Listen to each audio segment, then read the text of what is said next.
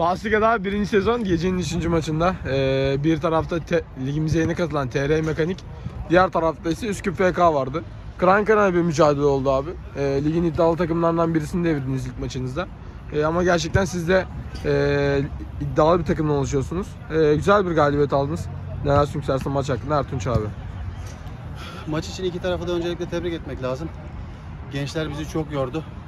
Sadece bir biz, biz biraz daha şanslıydık. Hani öyle oldu böyle oldu diye kıvırmaya gerek yok. Biz biraz daha şanslıydık. Bizden daha çok atak oldu, atak yaptılar ama bizim sade olan ve değerlendirdiğimiz pozisyonlardan dolayı galip geldik. Onun dışında takıma da başarılar diliyorum diğer takıma da.